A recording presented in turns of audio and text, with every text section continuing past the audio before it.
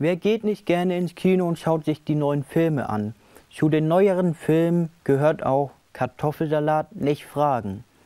Der erste Film im deutschen Raum, bei dem nicht nur Schauspieler, sondern vor allem YouTuber die Rollen übernehmen.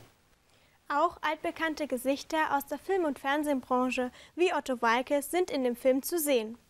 Aber worum geht es in der Horrorkomödie und wie funktioniert das an so einem Set überhaupt? Im Interview mit Torge, bekannt durch seinen YouTube-Kanal Fresh Torge, sind wir diesen und weiteren Fragen auf den Grund gegangen.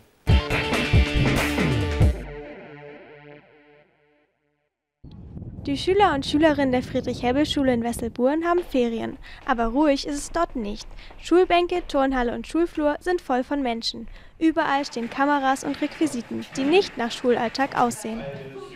Die Schule ist Set für den Kinofilm Kartoffelsalat, bei dem vor allem YouTuber die Rollen übernehmen.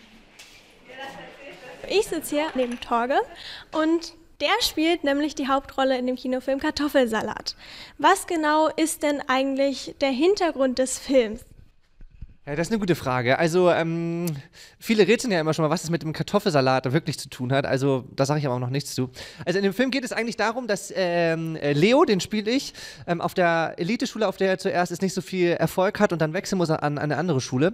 Und an dieser Schule versucht er dann, äh, ja, mehr Freunde zu finden und äh, erfolgreicher und beliebt zu werden. Und äh, dann bricht aber ein unbekannter Virus an dieser Schule aus und alle Schüler werden ganz merkwürdig. Und äh, dann versucht er sich so ein bisschen als Held zu äh, etablieren und ob das klappt, das sehen Sie dann und dann im Kino. Werbung. Ja, einen schönen guten Tag. Ich werde euch jetzt mal eine kleine Setführung geben. Und wir befinden uns hier im wichtigsten Raum vom ganzen Set, nämlich hier gibt es das Essen. Ein reiches, äh, reichliches Angebot an Speisen und Getränken und anderen Naschereien. Und das hier ist die liebe Ellen, die liebt es, gefilmt zu werden. Die sorgt dafür, die sorgt dafür, dass äh, Continuity nennt man das, dass alles, äh, was in der vorigen Szene, wenn da die Blume stand, muss ja auch da wieder in der Ecke stehen und so weiter. Er macht noch ganz viele andere Sachen, die ich jetzt gar nicht weiß. So, dann kommen wir mal weiter. Das ist der Kai, das ist unser Fotograf, der macht immer die ganzen schicken Fotos. Kai, was sagst du dazu? Das macht Spaß. Richtig. Und wir gehen weiter. Hier ist jetzt gerade nicht so viel los. Da ist nur eine junge Dame, die äh, gerade alles einräumt. Was sagst du dazu? Was sage ich dazu? Ja, denke ich nämlich auch. Ähm, hier sitzen dann immer die Leute, die äh, zu den Zombies geschminkt werden. Äh, und da sind unsere vielen, vielen Kontaktlinsen, die die, Kon äh, die, die Zombies, die die Zombies immer drin haben. Auch sehr, sehr spannend. So, wir sind wieder drauf. Hier geht es zum WC, das ist da hinten. Muss man jetzt nicht unbedingt zeigen. Ähm, ist halt ein WC. So, das ist der gute Kameramann, der Wolfgang. Hallo Wolfgang, wie gefällt dir der Job hier? Ich find's großartig. Richtig, und weiter geht's. So, das sind alles wunderbare junge Frauen, äh, bis auf eine. Die ist zwar wunderbar, aber nicht mehr jung. meine Mutter, oh, es regnet ein bisschen. Kann ich doch direkt mal meine... Pass auf, Kameramann, da ist ein Loch. Nicht, dass du dich auf die Fresse packst. Drehen wir hier jetzt nochmal drin, Silvia? Weißt du das? Drehen wir hier jetzt nochmal drin? Ja. Wir drehen hier jetzt, das ist übrigens Silvia, die ist auch wunderbar und kamerageil. Äh, das zeigt sie nur nicht so gerne. Also, ähm, ja, und das ist es eigentlich. Also, äh, viel mehr ist es gar nicht. Ihr seht viele kleine Bienchen, die den Laden am Laufen halten und den Honig dann letztendlich irgendwann ins Kino bringen. Ähm, ja, zurück zu ähm, Lück, hat man in der Wochenshow früher mal gedacht. Cut. Wie unterscheidet sich jetzt eigentlich so die Kinoleinwand von der YouTube-Leinwand?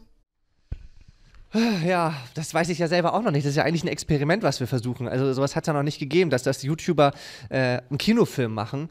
Ähm, also ich denke mal, der Unterschied liegt erstmal ganz einfach darin, dass wir in unseren YouTube-Videos es schaffen müssen, die Zuschauer für vier, fünf, sechs, einige vielleicht höchstens mal für 14, 15 Minuten ähm, zu fesseln und dran zu behalten am, am PC oder am Handy.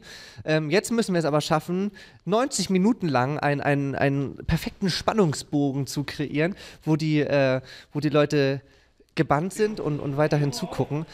Neben den YouTubern sind auch bekannte Gesichter aus Film und Fernsehen mit dabei. Otto spielt auch mit im Film. Was spielst du denn oder wen spielst du? Hm, Im Moment, heute habe ich den rasenden Reporter Harry Hirsch gespielt, also meine Damen und Herren und so weiter.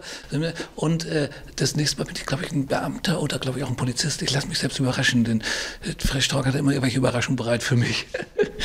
Es sind kleine Nebenrollen, aber die machen sehr viel Spaß. Ich freue mich dazu zu gehören. Was reizt dich denn so an den Rollen jetzt unbedingt mitspielen zu wollen? Diese frische Art, wie hier gedreht wird, auch hier nach Westburgen raus, zu, rauszukommen, ist natürlich in Dinslagen oder so, das kennt man ja kaum, man ist so selten hier. Und die Leute sind klasse drauf und mit, mit Frisch Torge zu arbeiten ist natürlich ein großes Privileg und der hat ja so gespielt, ist ja so wahnsinnig spontan und äh, gibt dann wieder neue Ideen, neue Anregungen und irgendwie ist es toll. Ein großes Erlebnis. Kartoffelsalat im Klassenzimmer und ein Lämmlein am Set ergeben einen experimentellen Kinofilm.